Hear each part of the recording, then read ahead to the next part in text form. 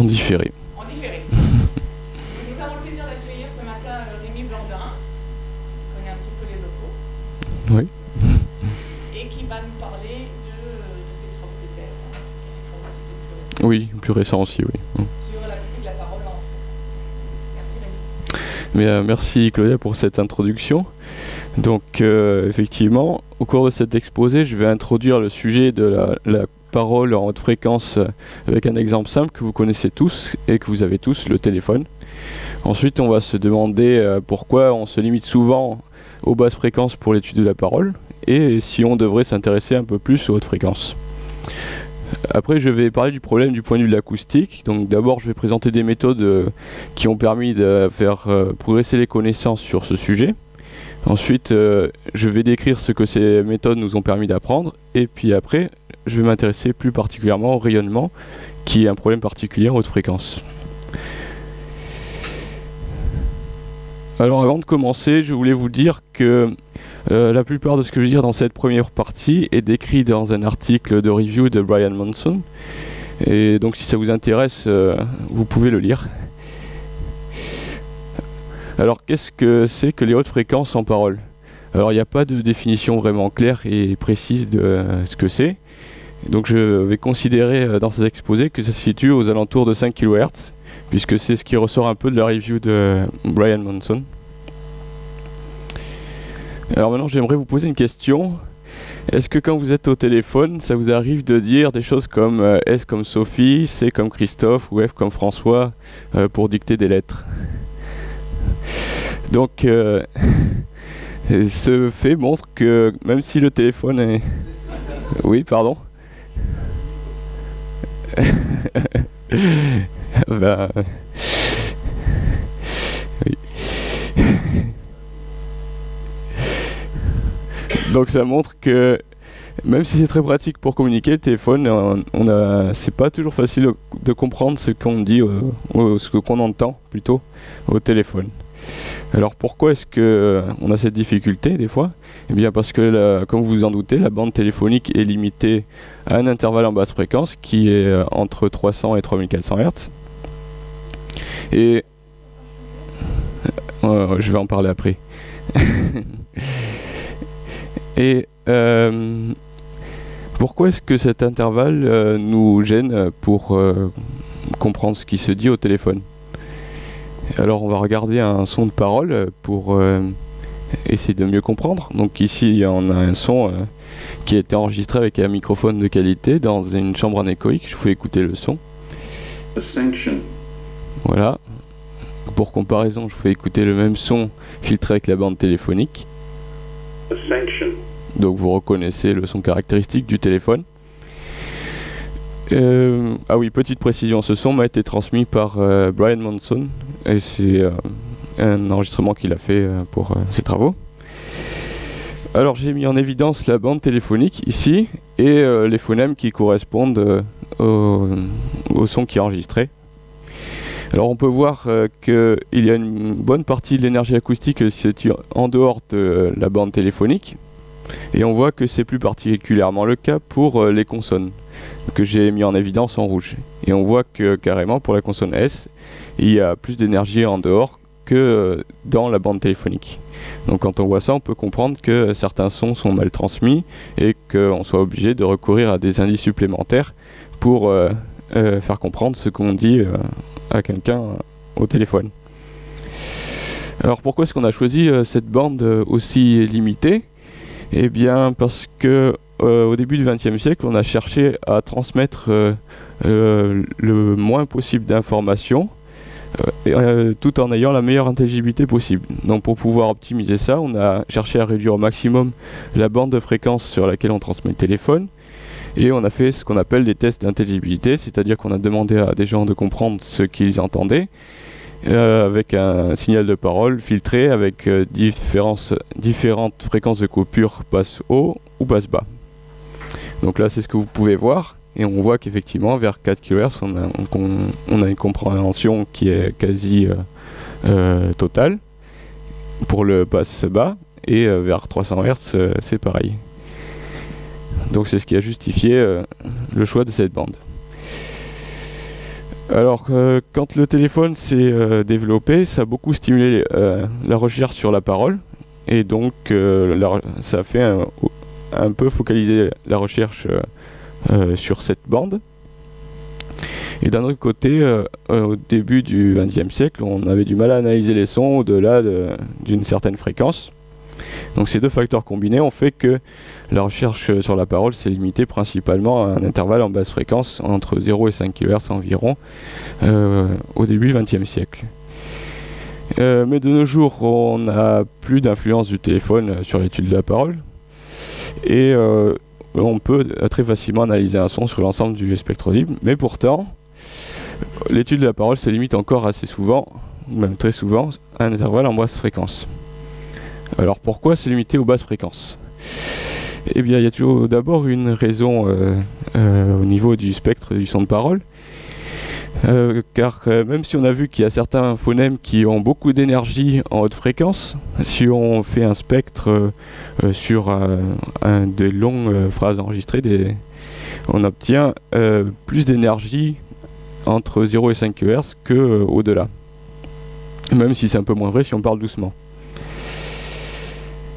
Ensuite, il y a une raison psychoacoustique, c'est que l'oreille, euh, les bandes critiques euh, de l'oreille euh, augmentent de façon, sont réparties de façon plus ou moins logarithmique sur les fréquences. Donc, ce qui fait qu'avec les effets de masquage en haute fréquence, ce qui semble être une grande portion du spectre audible, finalement représente une petite partie de ce qui est perceptiblement significatif. Ensuite, il y a le fait qu'en parole, on, s'intéresse souvent à des indices acoustiques qui se situent en basse fréquence, dont entre autres euh, ce qu'on appelle les formants, qui euh, sont des maxima euh, du spectre de parole, et qu'on utilise pour catégoriser les voyelles, dont notamment ce qu'on appelle le triangle vocalique. Enfin, il y a des difficultés techniques qui euh, limitent encore euh, l'étude euh, des hautes fréquences, comme par exemple euh, les euh, haut-parleurs qui, euh, euh, pour lesquels il est difficile d'avoir une réponse plate en haute fréquence. Enfin, les phénomènes de directivité, de diffraction, de diffusion sont plus complexes à prendre en compte en haute fréquence. Et euh, euh, c'est beaucoup plus difficile de modéliser euh, physiquement la, parole en haute fréquence. Et on, s'appuie encore très très largement sur des modèles physiques avec une approximation basse fréquence. Alors maintenant qu'on a vu ça, est-ce qu'on devrait s'intéresser plus aux hautes fréquences? Eh bien la première chose à laquelle on peut penser pour se convaincre que les hautes fréquences sont euh, perceptivement significatives et que les ingénieurs du son, quand ils manipulent un enregistrement euh, de paroles ou de chant, ils manipulent ces bandes de fréquences. Ensuite, il y a des études qui ont été faites tout de même sous les hautes fréquences qui ont montré qu'elles ont une importance pour euh, la perception de la qualité de la parole, de l'intelligibilité et de la localisation. Et on a montré aussi récemment qu'elles ont un rôle plus important qu'on le pensait sur l'apprentissage de la parole. Ensuite, euh, si on regarde de nouveau euh, le test d'intelligibilité, on peut voir que si on considère la portion en haute fréquence, l'intelligibilité s'améliore quand même un peu si on augmente euh, la fréquence de coupure du filtrage passe-bas. Et ce que ne montre pas cette courbe, c'est que c'est beaucoup plus agréable d'écouter quelqu'un si on a l'ensemble des fréquences du spectre audible qu'une portion limitée du spectre. Cet effet euh, d'amélioration de l'intelligibilité est d'autant plus visible qu'il y a un bruit qui euh, gêne. Donc ici, c'est le même type de test qui a été fait avec euh, différents rapports signaux sur bruit. Donc ici, il n'y a pas de bruit, puis il y a de plus en plus de bruit. On voit que l'intelligibilité se détériore. Et on voit aussi que les hautes fréquences aident à améliorer l'intelligibilité dans le bruit. Et on peut se rendre compte que c'est le cas en pensant que quand on est au téléphone et qu'il y a du bruit autour, on est tout de suite très gêné. Enfin, de nouvelles technologies se développent. Donc, il y a effectivement, euh, euh, Michel, la, téléphonie large bande qui se développe, qui essaie de mettre en place ce qui se fait depuis euh, le début pour la vidéoconférence sur Internet. C'est-à-dire d'élargir la bande sur laquelle on transmet le signal sonore. Ensuite, pour le développement des aides auditives, on s'intéresse de plus en plus également aux hautes fréquences. On essaye notamment de, transmettre euh, les indices acoustiques qui pourraient se trouver en haute fréquence euh, en basse fréquence pour les gens qui ne les perçoivent pas. Et puis pour les environnements virtuels dans lesquels euh, on veut faire de la synthèse vocale ou du rendu vocal, on s'intéresse de plus en plus aussi aux hautes fréquences pour améliorer la qualité.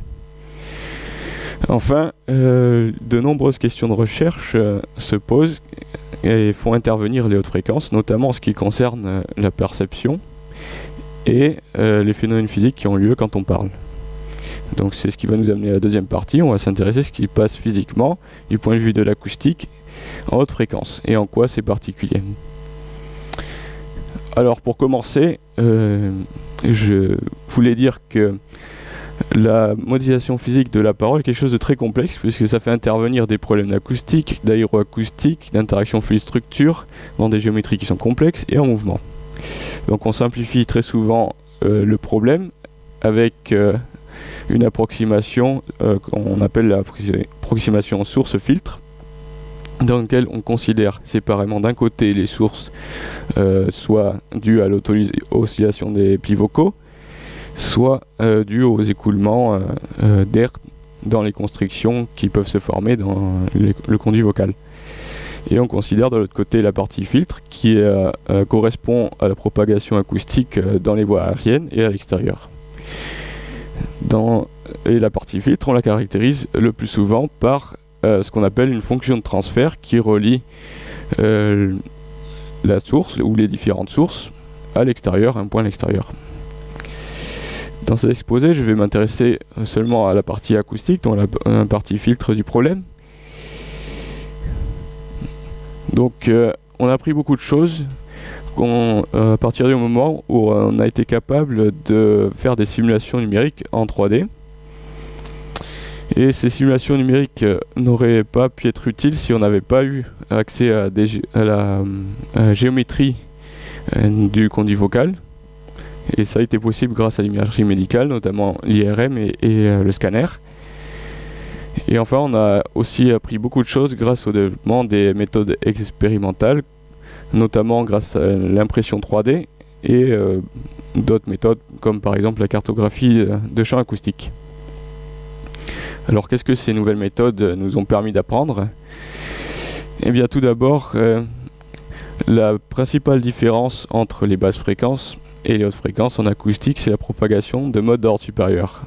Alors pour faire court, dans un guide d'onde, c'est-à-dire un, tuyau, pour euh, simplifier, euh, à toutes les fréquences peuvent se propager des euh, perturbations uniformes sur la section transverse qu'on appelle les ondes planes. Mais à partir de certaines fréquences plus élevées, peuvent se propager des, des perturbations plus complexes qu'on appelle modes d'ordre supérieur, euh, qui peuvent avoir euh, euh, des formes assez complexes. Je vous propose d'illustrer le phénomène avec une mesure que j'ai faite sur la maquette que vous voyez ici en photo. Donc par cartographie de champ acoustique, j'ai mesuré le champ acoustique sur la surface rouge ici. Je vous propose d'observer le résultat avec une vidéo dans laquelle vous verrez les fréquences défiler en haut et le champ acoustique euh, s'afficher sous forme d'échelle de couleur sur l'image en dessous.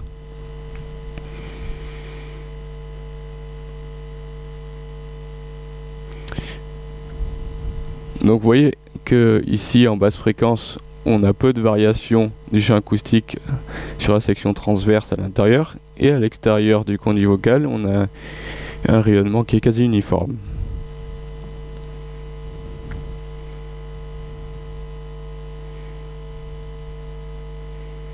Donc ici on voit apparaître une euh, résonance mais qui est toujours euh, longitudinale, il il n'y a toujours pas de variation euh, transverse. Et à présent on voit apparaître des variations transverses et leur effet sur le rayonnement. Donc vous avez vu le début de la propagation des modes d'ordre supérieur dans le conduit vocal.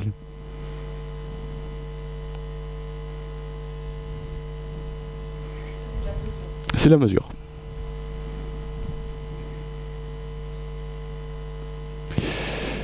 Alors on peut regarder ce qui se passe à plus haute fréquence.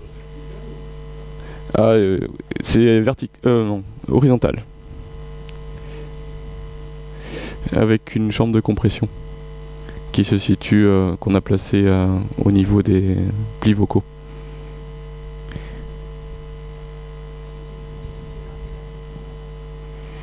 Oui, on utilise des sweeps pour chaque point de mesure.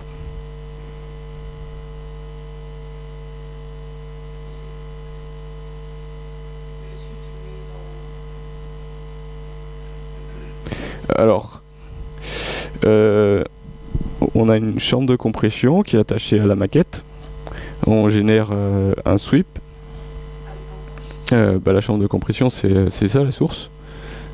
C'est un haut-parleur en fait dans une boîte, hein, pour simplifier. Et après, on a comment un système de positionnement automatique du microphone. Euh, le microphone, c'est euh, équipé d'une sonde, c'est-à-dire un petit tuyau euh, de 1 mm de diamètre à peu près, long de 20 cm, qui permet de, de faire une mesure à l'intérieur. Et donc, le système de positionnement place le microphone à un point. On envoie un sweep, on mesure, on le déplace au point suivant, on envoie un sweep, on mesure, et comme ça sur tous les points de la surface. C'est comme ça que ça marche. Alors, euh, euh, quelles sont les conséquences de ces modes d'ordre supérieur sur la fonction de transfert entre, par exemple, euh, les plis vocaux et un point situé à l'extérieur? Alors, ici, je vous présente une fonction de transfert, deux fonctions de transfert même, qui ont été calculées sur une géométrie de conduit vocal. Alors, dans les deux fonctions de transfert, vous pouvez voir qu'il y a des minima qui sont la conséquence de la propagation de mode d'ordre supérieur. Et dans cette étude, les auteurs se sont attachés à étudier l'influence de petites cavités qui se situent à la base du conduit vocal, qu'on appelle les sinus piriformes. Je vous les ai mis en évidence en rouge sur l'image en haut à gauche. Alors, euh, je précise que l'image ne correspond pas à la géométrie qu'ils ont utilisée dans l'étude, c'est juste pour illustrer. Et on peut voir que euh, jusque vers euh, 3-4 kHz, euh, la fonction de transfert est peu affectée par la présence ou non de ces euh, euh, cavités, alors qu'au-delà, elle est euh, significativement modifiée par la présence de ces euh, euh, cavités. Donc on, peut voir qu'à haute fréquence, il y a une grande sensibilité euh, des propriétés acoustiques aux détails de la géométrie. Pour mieux illustrer, euh, illustrer ça d'une façon différente, je vous présente cette étude où les auteurs ont utilisé dans ce cas-là une géométrie simplifiée, constituée d'une concaténation de euh, euh, tubes de section rectangulaire. Ils ont fait varier l'excentricité légèrement de ces jonctions de manière aléatoire et généré comme ça des centaines de géométries. Ils ont calculé la fonction de transfert correspondant à, chacune de ces géométries. Et euh, donc vous pouvez voir le résultat. Jusqu'à vers 4 kHz, la fonction de transfert est peu affectée par les variations euh, d'excentricité. Et euh, au-delà, on a au contraire une grande sensibilité de la fonction de transfert aux euh, variations d'excentricité. Donc une fois de plus, une grande sensibilité aux détails de la géométrie. Alors maintenant, je vais parler de rayonnement. Donc jusqu'à présent, on a considéré une fonction de transfert entre, euh, par exemple, euh, les plis vocaux et un seul point situé à l'extérieur. Et ici, je vous montre euh, des fonctions de transfert qui ont été calculées entre toujours le même point à l'entrée et une série de points qui sont répartis sur l'arc de cercle qui est représenté devant la géométrie. Alors vous pouvez voir qu'en basse fréquence, euh, la forme de la fonction de transfert jusqu'à environ 5 kHz, elle ne change pas, euh, pas beaucoup, avec euh, les différentes positions. L'effet qu'on observe, c'est surtout un- une réduction d'amplitude quand on va sur les côtés. Donc la courbe rouge qui correspond au point qui est en face et euh, systématiquement celle qui a l'amplitude la plus élevée et les courbes vertes et bleues qui ont qui correspondent aux, points les plus euh, euh, sur les côtés ont la même amplitude à peu près et qui est la plus basse. Quand on considère les hautes fréquences, on voit que la courbe rouge n'est plus tout le temps celle qui a l'amplitude la plus élevée, et les courbes vertes et bleues deviennent différentes. Et d'une manière générale, il y a beaucoup de variations avec la position euh, du point de réception de la fonction de transfert. Donc la fonction de transfert en basse fréquence, euh, on peut la modéliser. euh, comment dire Ces variations, on peut les modéliser facilement avec un filtrage passe-bas ou un filtre qui dépend de la position. En haute fréquence, ça devient beaucoup plus compliqué. Donc le concept de une fonction de transfert qui est souvent utilisé en parole, il est cohérent en basse fréquence, mais en haute fréquence, il devient inadapté. Ah, euh, oui, effectivement, la géométrie a une légère asymétrie. Oui. Sinon, effectivement, si elle était parfaitement symétrique, on, euh, quelque chose de symétrique.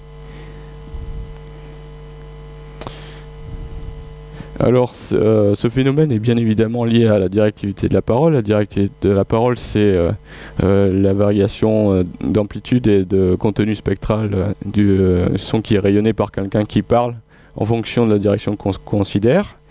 Elle a été étudiée avec différentes mesures. Donc là, je vous présente un- une mesure de directivité qui a été faite avec un arc de cercle placé sur le côté. On a analysé cette mesure euh, par bande d'octave. Donc on a euh, mesuré l'amplitude euh, sur chaque bande. On voit, retrouve l'effet passe-bas en basse fréquence. Donc l'amplitude diminue quand on va vers l'arrière de la tête. Vers euh, euh, 1, 2, 4 kHz, on voit l'effet de la diffraction par la tête qui se manifeste par un maximum local situé derrière la tête. Donc ça veut dire euh, que si vous marchez derrière quelqu'un et que vous avez mal, à comprendre euh, ce qu'il dit, si vous mettez exactement derrière lui, vous comprendrez peut-être un peu mieux. et puis en haute fréquence, on voit qu'il y a des différences très significatives en fonction euh, de la position. Mais ces mesures ont été faites par bande d'octave. Non, les mesures ont été analysées par bande d'octave, pardon. Et ça masque certains phénomènes. Donc je vous propose de regarder une vue plus détaillée du phénomène de directivité. Donc là, il s'agit d'une mesure que j'ai faite sur une maquette. Et je vous la présente sous forme d'une carte de directivité. C'est-à-dire que euh, je vous représente les variations d'amplitude liées à la position en fonction de la fréquence et de la position angulaire. Donc euh, ici, il n'y a pas de variation liée à la fonction de transfert, puisque euh, l'amplitude est normalisée par le maximum obtenu sur chaque position, euh, obtenu sur l'ensemble des positions, pardon, pour chaque fréquence. Je ne sais pas si c'est très clair. Donc ce qu'on voit, c'est qu'en basse fréquence, euh, jusque vers 4 kHz, on a peu de variations euh, liées à la position. Et à plus haute fréquence, on, on voit une grande complexité des motifs de directivité, avec euh, des changements significatifs dans de petits intervalles de fréquence, des minima locaux un peu partout, et une asymétrie droite-gauche. Alors, j'ai également réalisé des simulations euh, du phénomène euh, de directivité. Et euh, donc, je vous représente le même type euh, euh, de représentation euh, pour euh, cette géométrie. Donc, c'est les mêmes données que pour la figure avec les fonctions de transfert, mais représentées de cette façon-là. Et on retrouve euh, qualitativement les mêmes phénomènes, c'est-à-dire des variations significatives euh, euh, dans de petits intervalles, une complexité générale en haute fréquence, des minima locaux et une asymétrie droite-gauche. Donc euh, je rappelle, la, la géométrie est légèrement asymétrique. Si on regarde dans le plan vertical maintenant, on voit l'effet des lèvres. C'est-à-dire que il y a euh, deux directions dans lesquelles l'amplitude est euh, euh, plus faible, donc c'est en haut et en bas, et au centre l'amplitude est, renforcée.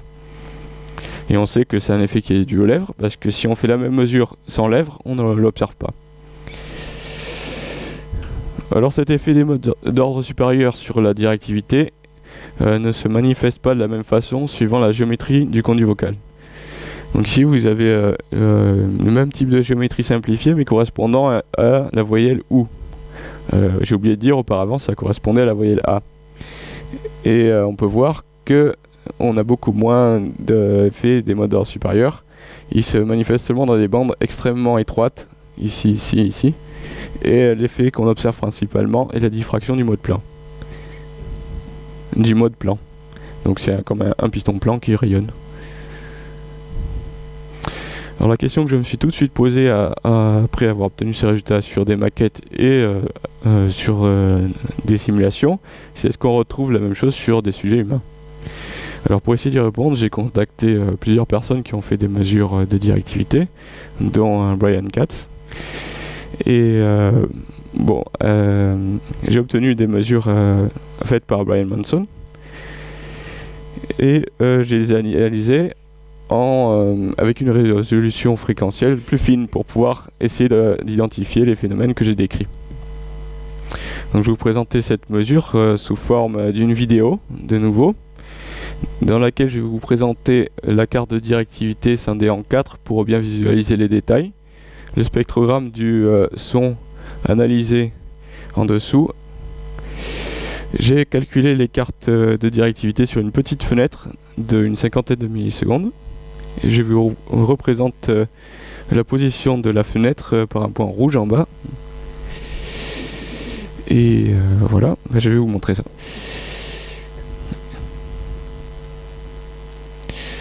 Alors, on commence tout de suite par une voyelle.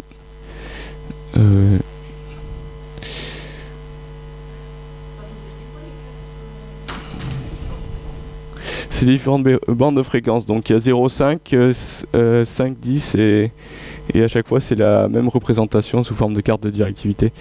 Et euh, le mot que j'ai analysé c'est euh, celui que vous avez entendu au tout début, ascension. Donc euh, on commence par une voyelle. On voit qu'il y a beaucoup d'énergie en basse fréquence.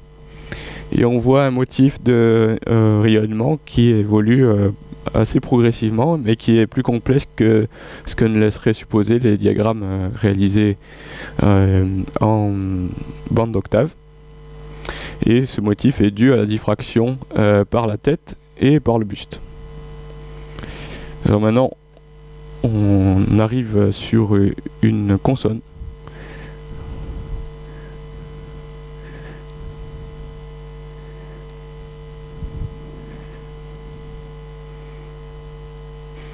Donc sur cette consonne, vous avez pu voir euh, qu'il y a de l'énergie sur à peu près l'ensemble euh, du spectre audible, un peu moins en basse fréquence.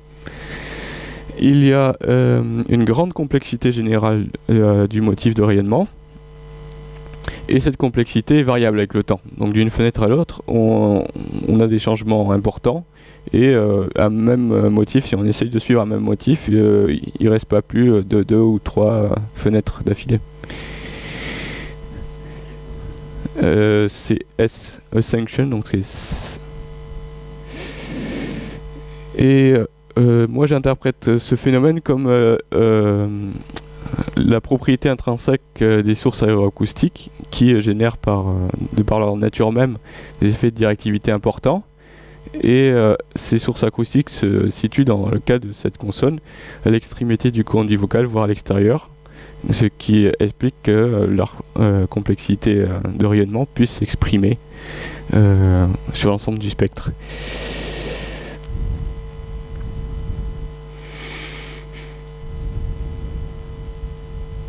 On retrouve une voyelle avec un motif euh, progressif et ensuite on arrive sur un son nasal. Et là on voit apparaître euh, un motif, euh, un changement de motif euh, significatif dans un petit intervalle, mais en basse fréquence cette fois. Alors euh, cette fréquence-là, les modes d'ordre supérieur ne peuvent pas se propager, donc j'interprète ce phénomène comme l'effet d'une d'interférence entre deux zones de rayonnement du corps, donc par exemple la bouche et le nez. Mais bon, il faudrait toutes ces hypothèses, faudrait les confirmer.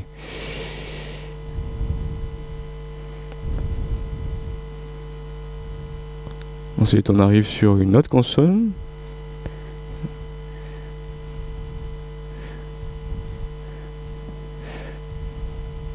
Donc ici, il s'agit de la consonne ch. C'est un peu le même mécanisme de production que la consonne précédente, mais vous avez pu remarquer une différence, c'est que en basse fréquence, on a un, motif qui est plus progressif et pour lequel il y a une complexité beaucoup plus réduite, jusqu'à 5-6 kHz. Et après, on retrouve la même complexité euh, pour, que pour la consonne euh, S et la même variabilité temporelle. Alors j'interprète ça par le fait que dans ce cas-là, euh, les sources aéroacoustiques se situent plus à l'intérieur de la bouche. Euh, donc euh, leur effet sur le rayonnement ne peut s'exprimer que si des modes d'ordre supérieur peuvent se propager. Ce qui explique pourquoi cette complexité ne s'observe que en haute fréquence. Encore une fois, c'est une hypothèse et il faudrait la confirmer.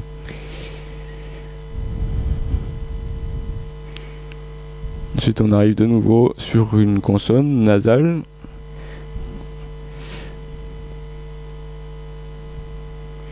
Alors vous avez peut-être remarqué aussi qu'il y a par moments des euh, euh, traits verticaux réguliers. Et ça, je l'interprète comme l'effet d'une réflexion sur un matériel qui serait dans la chambre anéchoïque lors de la mesure.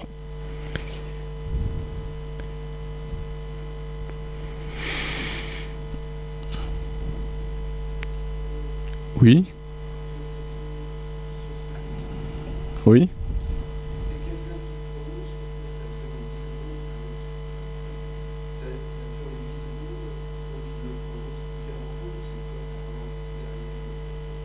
Non, non, a, il le prononce normalement. Après, j'ai fait euh, de, euh, comment dire, euh, du chevauchement de fenêtres pour mieux visualiser la, la continuité. Ah euh, Oui, c'est bizarre ça. Alors là, je suis peut-être planté dans, la... dans le spectrogramme, oui.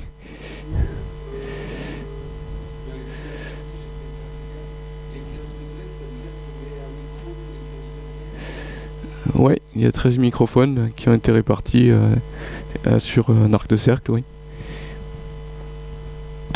Ok.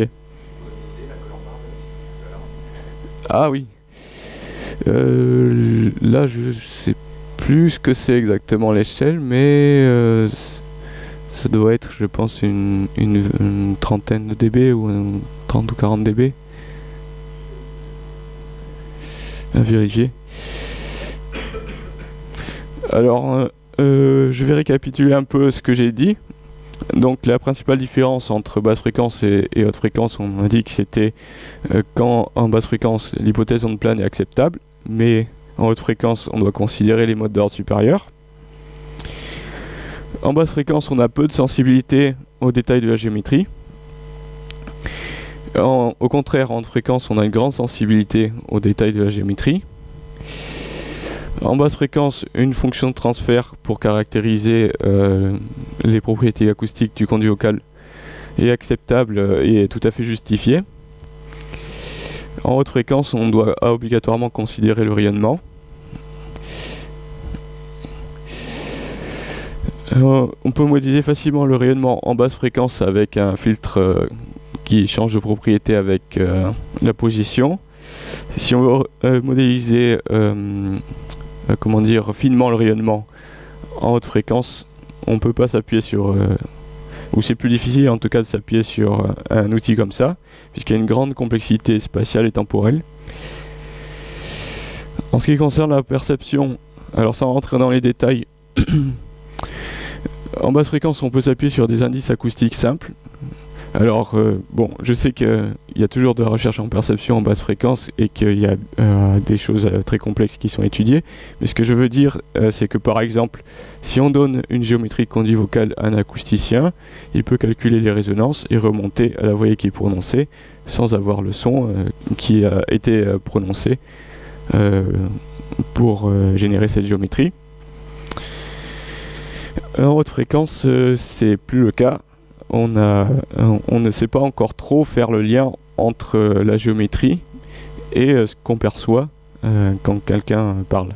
Donc euh, il y a des questions de recherche qui se posent dans les deux sens, c'est-à-dire quand on perçoit une, caractéristique sur la qualité de la voix d'une personne, à quoi ça correspond physiquement quand cette personne parle, Et quand on observe des phénomènes comme ce que j'ai écrit pour le rayonnement, est-ce qu'ils sont perçus? Comment ils sont perçus? Comment les prendre en compte? Ce genre de questions. Pour pouvoir y répondre, je pense qu'un outil euh, efficace sera la, synthèse euh, vocale articulatoire haute définition, c'est-à-dire euh, avec des modèles physiques valables sur l'ensemble du spectre audible, ou au moins à plus haute fréquence.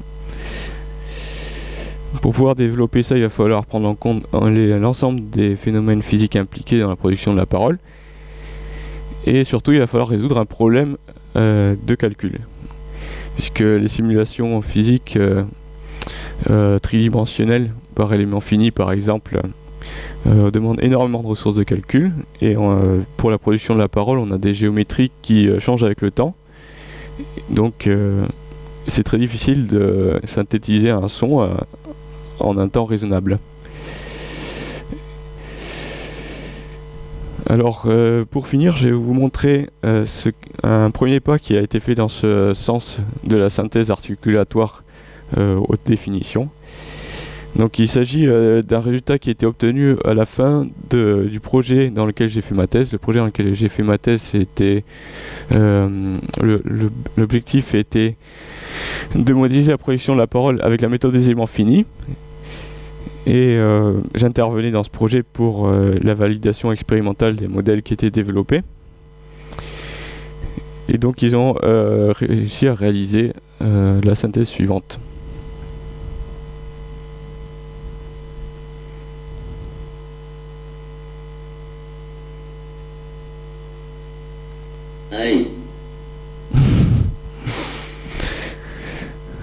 Donc dans ce cas-là, ils ont utilisé un modèle articulatoire et un, modèle de propagation acoustique. Et ils n'ont pas modélisé euh, la source, euh, les auto-oscillations des cordes vocales. Donc il reste encore du travail et à compléter euh, les phénomènes physiques qui se produisent pour modéliser ça. Et le, problème aussi, c'est que pour pouvoir synthétiser ça, il faut beaucoup, beaucoup de temps. Donc il faut trouver, faudra trouver des solutions pour réduire le temps de calcul. Voilà, maintenant si vous avez des questions.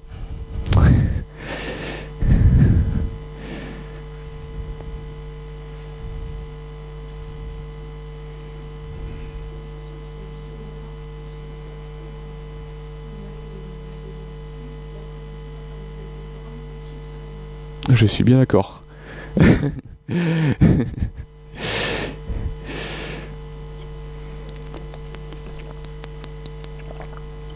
mm-hmm.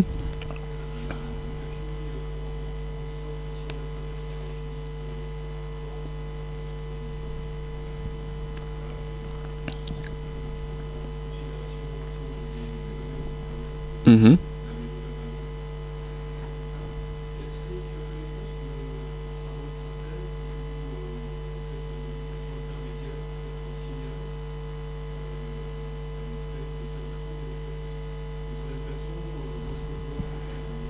Mhm. Les cartes de directivité Oui.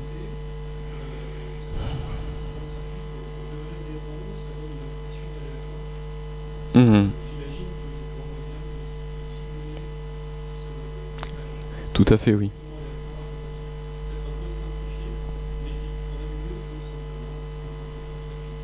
Tout à fait. Alors à ma connaissance, non. Après, ben, je connais largement pas tout ce qui se fait. Mais euh, je suis bien d'accord, effectivement, euh, pour modéliser ça, euh, je pense qu'il faut s'orienter vers des méthodes statistiques, probabilistes.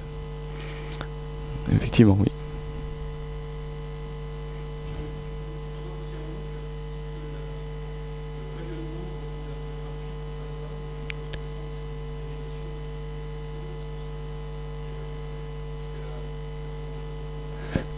oui, alors je voulais dire euh, euh, la variation euh, du contenu spectral avec la position.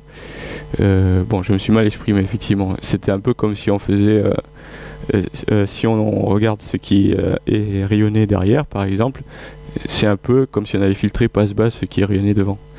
En, gros, je voulais dire qu'on reçoit moins de haute fréquence si on est derrière quelqu'un qui parle. C'était peut-être un peu maladroit, effectivement.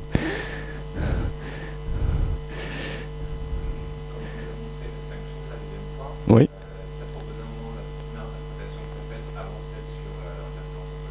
Mhm. Alors, euh, euh, certaines consonnes, comme euh, le f, s, ch, sont dues à des écoulements d'air qui génèrent des turbulences à l'intérieur du conduit vocal. Et, et ces turbulences se forment parce qu'il y a une constriction qui génère un G qui vient rencontrer une, une paroi du conduit vocal. Donc, dans le cas du s, ce G est formé par euh, la langue euh, contre le palais et elle vient rencontrer les dents euh, ou la lèvre inférieure. Du coup, la source qui provient de la turbulence qui est générée par la rencontre de ce jet avec l'obstacle se situe très très près de la sortie du conduit vocal. Donc elle se situe au niveau de la dent ou de la lèvre inférieure ou les deux.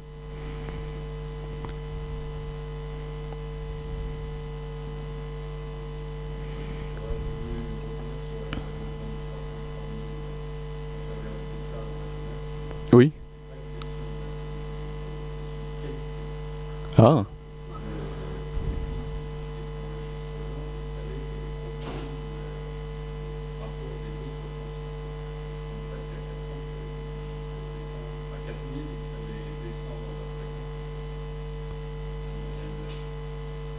D'accord, ok. Donc, non, non.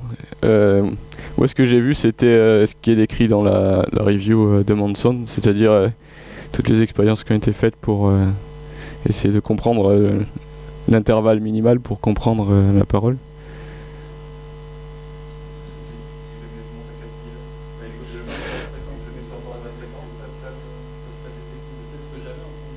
Alors peut-être qu'après pour l'ajustement fin des limites, il y a d'autres choses qui sont rentrées en compte effectivement.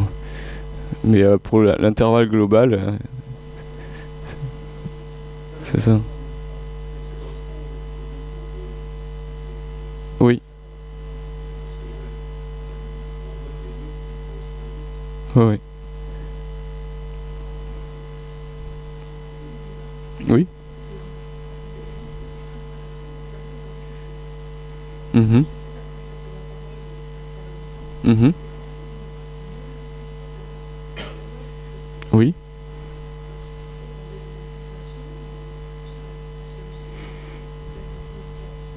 Mm-hmm.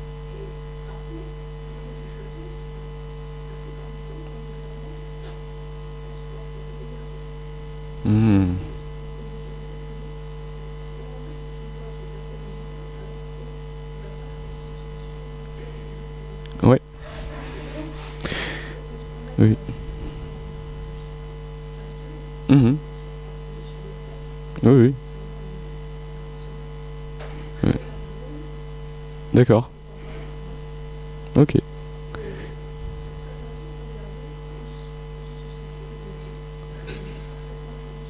D'accord. Ouais, euh, oui, effectivement, c'est intéressant comme, euh, comme, comme chose. Et d'ailleurs, il y a des. euh, pour montrer, comment dire, la contribution des hautes fréquences à l'intelligibilité, il y a des tests de catégorisation de phonèmes qui ont été faits avec seulement les hautes fréquences. Donc, ils ont coupé, je crois, un peu plus de 6000 Hz. Et ils se sont rendus compte que, euh, évi- évidemment, on a une intelligibilité qui est très mauvaise, mais euh, on a euh, une catégorisation qui est au-dessus du niveau de chance, et même pour les voyelles. Donc, effectivement, ça rejoint ça.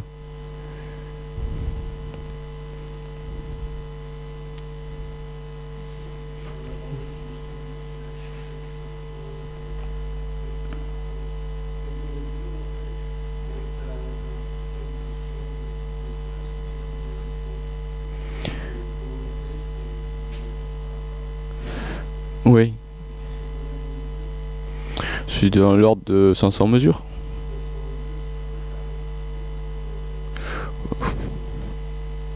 Oui, oui. Même un peu plus, oui. Oh, ça prend euh, euh, quelques heures, on va dire. Heureusement, tout est au- automatique, sinon, on peut on peut partir et puis aller euh, faire quelque chose d'autre pendant ce temps-là. Oui. C'est impossible.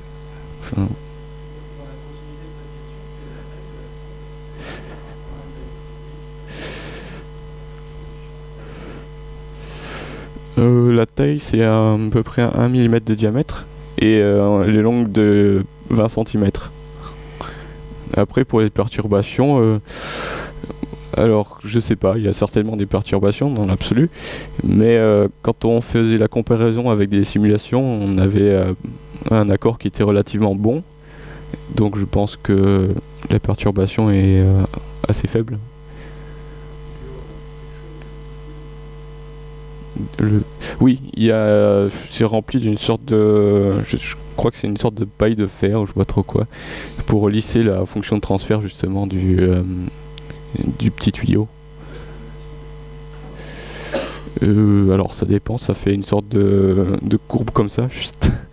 Donc euh, à basse fréquence ça va, il n'y a pas beaucoup d'atténuation, mais en haute fréquence on peut avoir quelque chose de très important effectivement.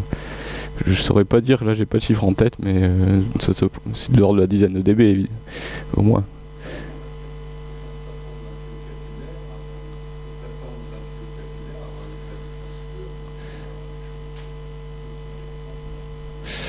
Euh, bah après, je sais pas à quel niveau de basse fréquence. euh, Oui. Oui, oui. Ah oui, oui, en basse fréquence aussi, oui.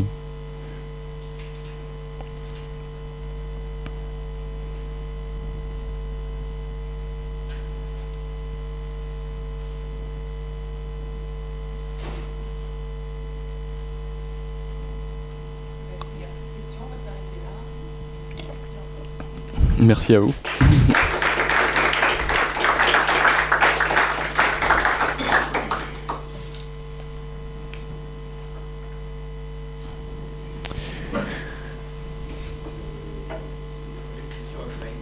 Ah, vas-y. Qu'est-ce qu'il prend? D'accord.